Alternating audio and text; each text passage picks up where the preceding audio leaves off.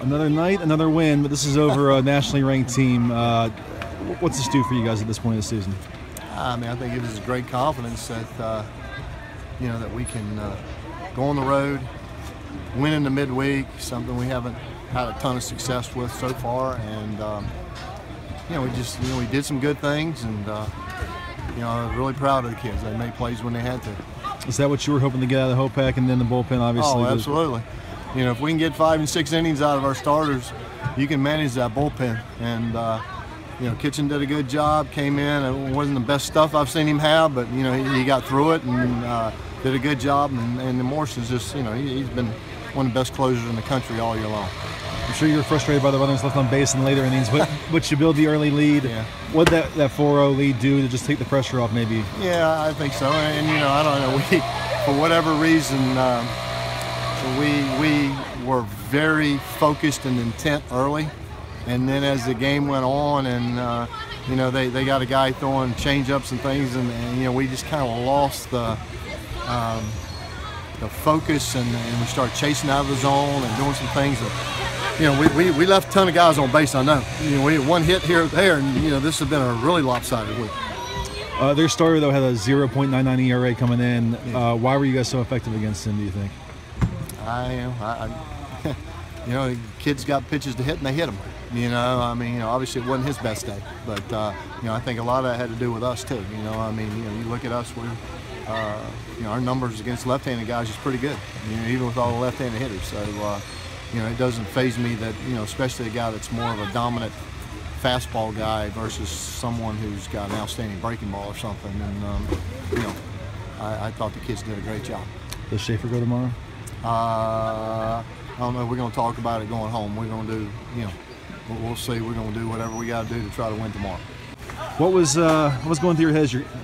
Went out there to close out a, a big win over nationally ranked North Carolina team. Just, I mean, just another game for us. It was a me a big RPI win. Obviously, we hear about that. We really been winning a bunch of games. We haven't many quality ones, so it's good to come in here. It's a pretty hostile environment. Get a win. Kitch did after the last outing. We know he struggled a little bit. Walked out one guy. Today he came in, picked Hopeck up, and gave us a couple zeros, man. And that's great to see for us. Get him back to where we need him to be. So. What was it like watching the start of that game as as the offense built a 4-0 lead in the first ah, inning? Oh, those guys never surprise me, man. I, I think we probably should score 15 on them, though. The way they swing it. But they were hitting barrels all day. I know Billy had a big line drive to left that could have broke this thing open. Marksy had the one bunt where we, he was pretty safe to me, but we'll just one through nine. They're putting barrels together. Seth Lancaster hit about three balls about 500 feet that way, so it's it's that close to us opening it up on them. So. Do you think a game like this maybe draws some more national attention to what you guys are doing? Oh, I mean, we can't control that kind of stuff. We got we got Charleston tomorrow, and I think I'm not sure what Gilly just told you, but I'm not sure who's pitching. I know we'll have Beckwith ready to go, and I'm sure I'll be ready to go again. So we'll see if we can go get one tomorrow and keep taking steps forward. So. All right, uh, give me a sense for how big this win is over number 16 in North Carolina. Oh, you know, huge win, like we talked about the other day. You know, it's a resume builder for us at the end of the year. Uh, huge road win for us. Hopeck threw great. Uh, bullpen stepped up big. You know, we got timely hits, so still got to get a little better though. You guys have won eight straight, 15 out of 16, but does a game like this make that whole streak look even better when you be a nationally ranked team? Oh, anytime you get to compete against a team like this on the road, especially, you get a huge win. It's great for our confidence. It's great for everyone, you know, towards the end of the year. But you know, we got a big game tomorrow. What did that triple uh, the first inning do for you guys, just kind of setting the tone and getting that early lead?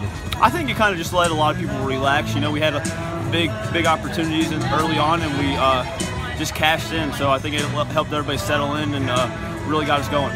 The longest hitting streak uh, in program history on record is 20 games. You're at 17 now. Would that mark mean anything to you as you get closer to it? Oh, it wouldn't mean anything for me, honestly. You know, I'm a streaky guy, so hopefully it can last a little longer. But if not, it's not that big of a deal. Hopefully we just keep winning. Um, going back to that triple, just take me through that bat. There was two outs, and there was a big opportunity to cash in there. Take me through what you were thinking of the plate. Oh, I mean, you know, we uh, had some film on that guy. You know, he really loves to pound his fastball, but you know, he a great arm. You know, hides the ball really well. He jumps on you. And you know, I was just trying to get something in the middle of the plate that I could hit, and he you know missed up for me. So good swing. So. You guys have won a lot of games lately, but this is over a nationally ranked team. How big is this one? It's pretty big. Uh, coming into it, we just we really want to relax and just play hard like we've been playing. Let let everything work out like it's been working. And then today we, we put the barrels on the ball and it just worked out for us. What was it like in the dugout as you take a 4-0 lead in the first inning and kind of take some of that pressure off maybe? Uh, I mean, that's get get your pitchers four runs in the first two innings. Is, that's pretty big. Let them pitch, and we can do some different things in the dugout. And let Gilly work a little bit, and it, it just it relaxes you a little bit. I mean, you can never relax too much against a team like that. I mean, they're a really good team, but it gives you a little bit of breathing breathing room. Uh, I asked Connor this. I mean, you've won 14 out of 15, eight straight, but does a win like this make that whole streak look even better because it's it's an over nationally ranked team now, and you kind of Uh, backed it up? Yeah, of course. I mean, beating them's a, a huge win, I respect the crap out of that team right there. They're they're very good, and they got a. good- I mean, North Carolina, coming here and get a win, that's huge. Yeah, that makes it a whole lot better. Uh, the week's not over yet, just getting started. Uh, how important is it that, to do this again tomorrow and, and follow up this weekend? Yeah, we got to go home, get some rest, and get ready for Charleston. They always give us a fit every time they play them, so we got to come ready to play tomorrow, and hopefully we can get another W.